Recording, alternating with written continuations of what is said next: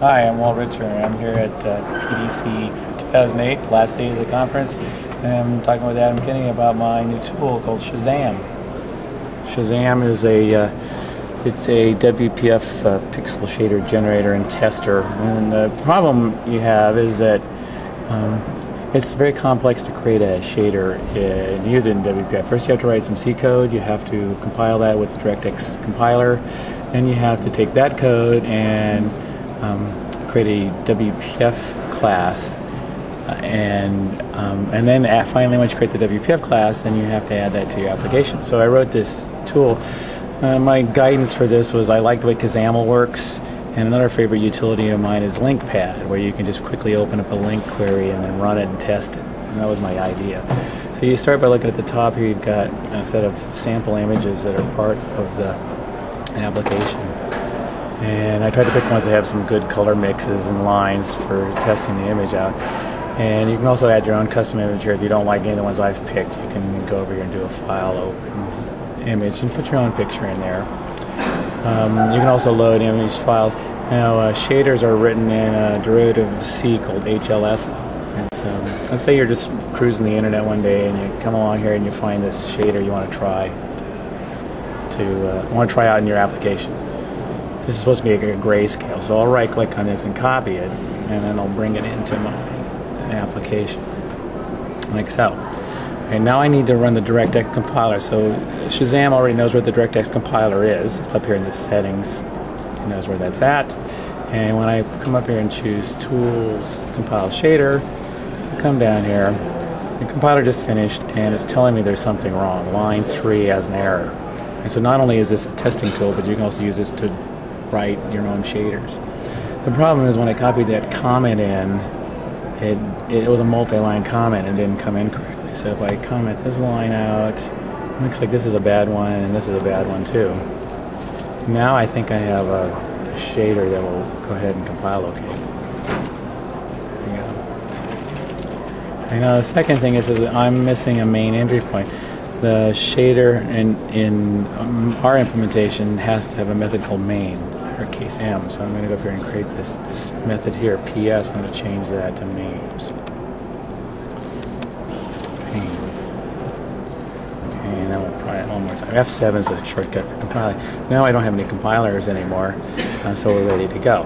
So in the next step in the compiler process is you have to create this WPF class, and that's what Shazzam does. It's automatically generated a C sharp class for me. I'm going to press F11 to make it full screen it automatically generated this class which derives some shader effect and created the correct input properties that I need, the different properties I need for this class. It also created one in the VB language as well.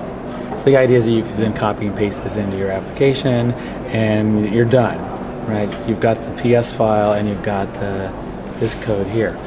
And then we can go check to see if it worked. We can apply this shader and we'll see if we get a grayscale image up here. And it, it applies this shader to all of the sample images once. And you can remove the shader by going over here and say remove shader, F6, and see what it looks like. So you can just toggle back and forth between having the shader applied to any sample picture and removing it. Now obviously this is a really simple shader. There's not much settings here. If I go over here, this is where I'm allowed to change the shader settings. Since this one doesn't expect me to type any extra information in, there's nothing on this window. Um, but if I open up some existing ones, now Microsoft released a shader library a couple weeks ago, and they have a nice testing harness. The problem is it's not very extendable, right? You have to go in and modify their Microsoft source code in order to write the new shader. Mm-hmm. So I said, well, why don't I just bring their libraries in and we'll just run them here. So you click on Shader Loader, and there's two tabs. The first tab is for any location you want to store your own shaders in, and the second one is the sample shaders I'm shipping with Shazzam. And so I can here look at this banded swirl, which is one of Microsoft samples. It knows that it loaded it in immediately into this area here. And the, the key I want you to see here is that there's a center, float 2, that um, these are the HLSL values float, float 2, float 3, float 4. Basically translate, floats translate to, to doubles in .NET, and float 2s translate to either sizes or points, and float 4s translates to color. So if you look at it, you see I've got a center point, and a spiral strength, and a distance threshold. And if you go look at my shader it was generated, have to compile.